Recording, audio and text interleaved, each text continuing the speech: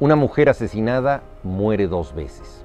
Cuando le quitan la vida y cuando elegimos mirar para otro lado. No dejes que Gabriela, mi hermana, muera otra vez. No dejes que Luz Adriana, mi hija, muera otra vez. No dejes que Adriana, mi hermana, muera otra vez.